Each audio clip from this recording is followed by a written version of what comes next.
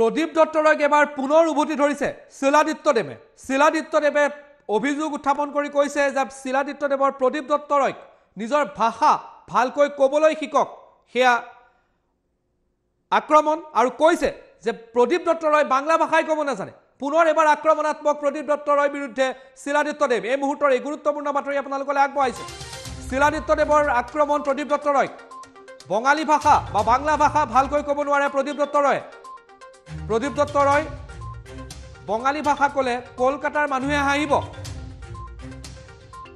প্ৰদীপ দত্ত ৰয়কে সমালোচনা এবাৰ শিলাদিত্যদেৱৰ এসময়ত দালালি কৰিছিল প্ৰদীপ দত্ত ৰয়ে। প্ৰদীপ দত্ত ৰয়ে এসময়ত দালালি কৰাৰ অভিযোগ তেওঁ দালালি কৰিছিল। প্ৰদীপ দত্ত ৰয় কাৰ সৈতে যুঁজিব খুজিছে? প্ৰদীপ দত্ত ৰয়ে কাৰ সৈতে যুঁজিব খুজিছে? তেওঁ অসমত থাকি কাৰ সৈতে যুঁজিব খুজিছে? এয়াও প্ৰশ্ন। দালালি কৰাৰ অভিযোগ। অসমীয়া বঙালী ভাষাৰ মাজত মই পাৰ্থক্য দেখা নাই। শিলাদিত্যদেৱৰ মন্তব্য যে কোনো পাৰ্থক্য দেখা নাই দেখা পোৱা নাই অসমীয়া আৰু বঙালী ভাষাৰ মাজত। বৰাকত বঙালীয়ে এঘৰীয়া কৰিব লাগে প্ৰদীপ দত্ত ৰয়ক। প্ৰকৃততে বৰাকত যিসকল বাংলা ভাষা লোক আছে বা- বাংলা ভাষী লোক আছে তেওঁলোকে এঘৰীয়া কৰিব লাগে। আজিৰ দিনত অসমীয়া বঙালী একত্ৰিত হৈ উন্নয়নৰ কামত মনোনিৱেশ কৰিছে। আৰু তেনে সময়তেই প্ৰদীপ দত্ত ৰয় এনেধৰণৰ স্থিতিক সম্পূৰ্ণৰূপে সমালোচনা শিলাদিত্যদেৱৰ বৃহত্তৰ হিন্দু সমাজত তেওঁ বিভাজন আনিব বিচাৰিছে বুলি অভিযোগ দালালি কৰাৰ অভিযোগ বৃহত্তৰ হিন্দু সমাজত বিভাজন অনাৰ অভিযোগ ভালদৰে বঙালী ভাষা ক'ব নোৱাৰাৰ অভিযোগ। বৰাকৰ মানুহে ৰাজপথলৈ ওলাই আহি প্ৰদীপ দত্তৰ বিৰুদ্ধে শ্লোগান দিব লাগে। বৰাকৰ জনতাকো আহ্বান যে এনে ব্যক্তিৰ বিৰুদ্ধে তেওঁলোক ৰাজপথলৈ ওলাই আহক। ওলাই অহাৰ আহ্বান জনোৱা হৈছে।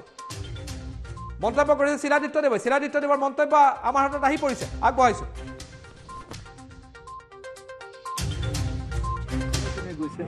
এতিয়া সেই ধৰণৰ সংঘাত আমি দেখা নাপাওঁ।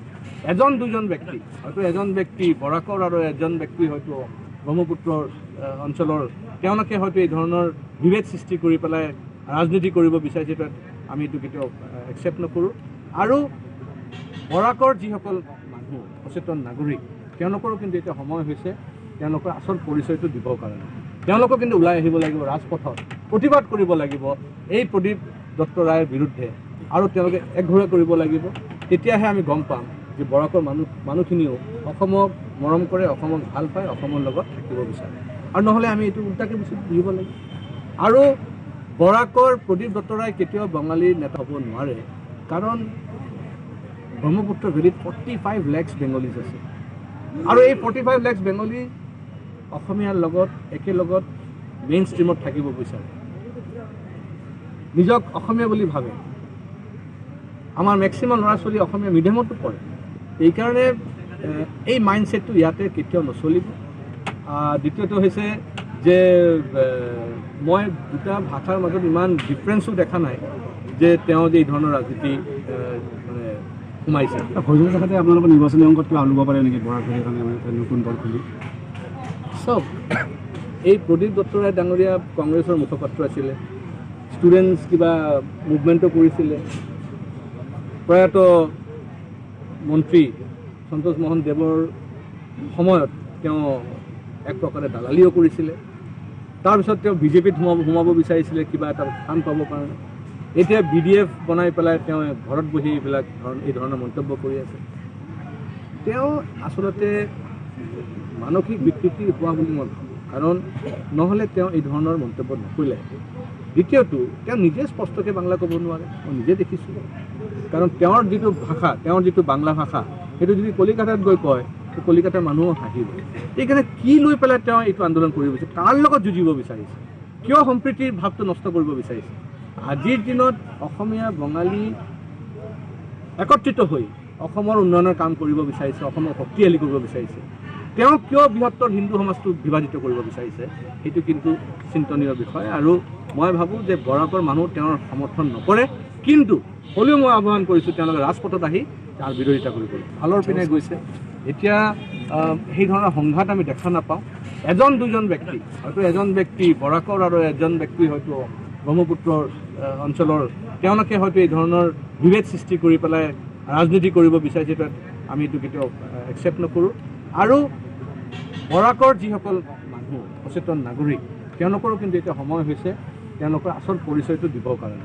তেওঁলোকক কিন্তু ওলাই আহিব লাগিব ৰাজপথত প্ৰতিবাদ কৰিব লাগিব এই প্ৰদীপ দত্ত ৰায়ৰ বিৰুদ্ধে। আৰু তেওঁলোকে একঘৰে কৰিব লাগিব তেতিয়াহে আমি গম পাম যে বৰাকৰ মানুহ মানুহখিনিও অসমক মৰম কৰে অসমক ভাল পায় অসমৰ লগত থাকিব বিচাৰে। আৰু নহ'লে আমি এইটো উল্টাকৈ বুজি বুজিব লাগিব আৰু বৰাকৰ প্ৰদীপ দত্ত ৰায় কেতিয়াও বঙালীৰ নেতা হ'ব নোৱাৰে কাৰণ ব্ৰহ্মপুত্ৰ ভেলীত ফৰ্টি ফাইভ লেক্স বেংগলীজ আছে। আৰু এই ফৰ্টি ফাইভ লেক্স বেংগলী অসমীয়াৰ লগত একেলগত মেইন ষ্ট্ৰীমত থাকিব বিচাৰে। নিজক অসমীয়া বুলি ভাবে। আমাৰ মেক্সিমাম ল'ৰা ছোৱালী অসমীয়া মিডিয়ামতো পঢ়ে। এইকাৰণে এই মাইণ্ডছেটটো ইয়াতে কেতিয়াও নচলিব। দ্বিতীয়টো হৈছে যে মই দুটা ভাষাৰ মাজত ইমান ডিফাৰেঞ্চো দেখা নাই যে তেওঁ যে এই ধৰণৰ ৰাজনীতি মানে সোমাইছে। শাখাতে আপোনালোকৰ নিৰ্বাচনী অংকত কিবা ল'ব পাৰে নেকি? কাৰণে নতুন দল খুলি। চাওক এই প্ৰদীপ দত্ত ৰায় ডাঙৰীয়া কংগ্ৰেছৰ মুখপাত্ৰ আছিলে। ষ্টুডেণ্টছ কিবা মুভমেণ্টো কৰিছিলে। প্ৰয়াত মন্ত্ৰী সন্তোষ মোহন দেৱৰ সময়ত তেওঁ এক প্ৰকাৰে দালালিও কৰিছিলে। তাৰপিছত তেওঁ বিজেপিত সোমাব সোমাব বিচাৰিছিলে কিবা এটা স্থান পাবৰ কাৰণে। এতিয়া বি ডি এফ বনাই পেলাই তেওঁ ঘৰত বহি এইবিলাক ধৰণ এই ধৰণৰ মন্তব্য কৰি আছে।